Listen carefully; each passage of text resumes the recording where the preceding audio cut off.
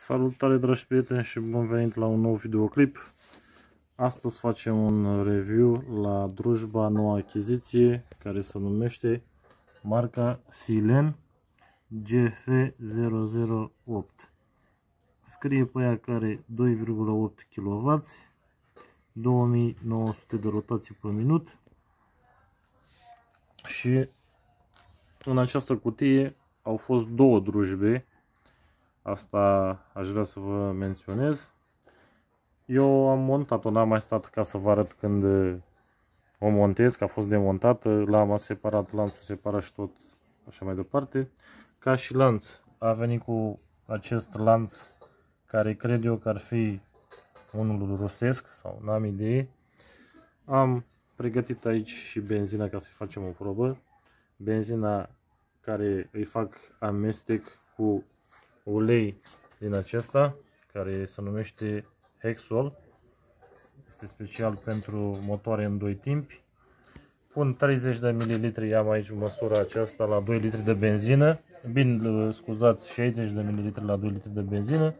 Uleiul pentru lanț ca și accesorii a venit în această borsetă o pilă o șurupelniță și cheia de bujii.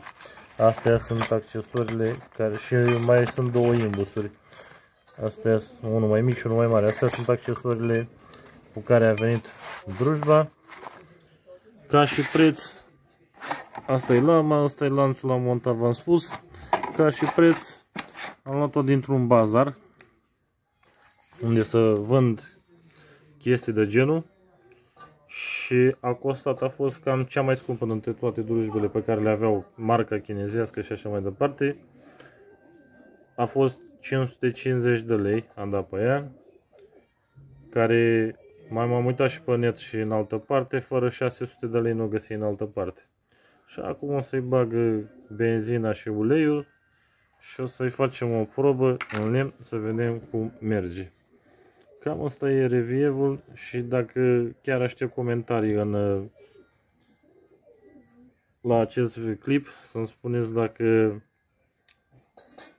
care aveți și voi de asta drujbe de asta silen, să-mi spuneți părerea voastră despre ele, cum credeți că sunt și așa mai departe.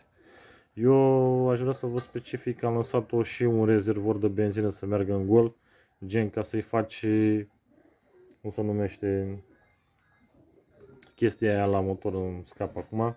Rodajul când scăpa. Așa, i-am lăsat-o să meargă în gol un rezervor plin de benzină la consumat ca să-și facă rodajul și acum e numai bună pentru făcut treabă.